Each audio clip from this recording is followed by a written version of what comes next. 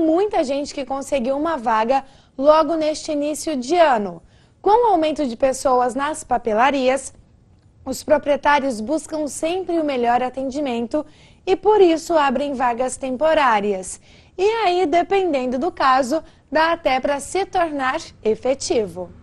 O movimento das papelarias no início do ano chegam a crescer 70 ou 80% por conta do início do ano letivo. Para dar conta de atender tanta gente, muitos comerciantes acabam contratando funcionários temporários e eles têm a chance de serem efetivados.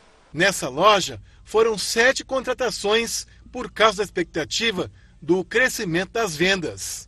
A nossa expectativa é sempre estar melhorando e esse ano nós também temos essa expectativa de melhorar uns 30%. Aí vai do desempenho deles, né? Aquele que se desempenhar bem tem a chance de ser contratado. Rosana entrou na loja como temporária e logo em seguida foi efetivada. Ajuda, né? A pessoa às vezes está parada, aí aparece essa oportunidade, aí vem e dá certo. Ficar parado não é fácil. Não, não é fácil. A gente fica parado, a gente tem família para sustentar tudo e foi uma oportunidade muito boa que eu tive.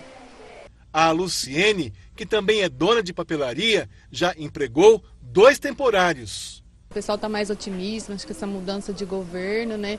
O pessoal está um pouco mais otimista, gastando um pouquinho mais né, do que os outros anos. Melhorando as vendas agora, com certeza a gente tem expectativa de contratar eles sim.